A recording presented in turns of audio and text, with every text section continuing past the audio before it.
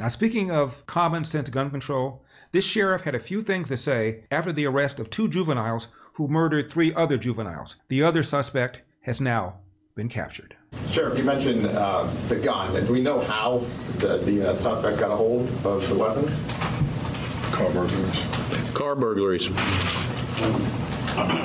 All the gun laws we got in place didn't prevent it, did it? Neither will any new ones.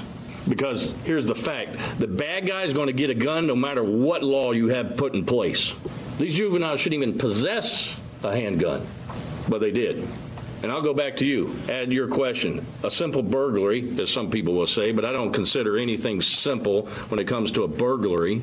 If the law allows me, I'll plaster their face up on this page, up on my page, up on media. I will hand it out if the law allows me because parents have the right to know who their kids are hanging out with and preventing this. Wow.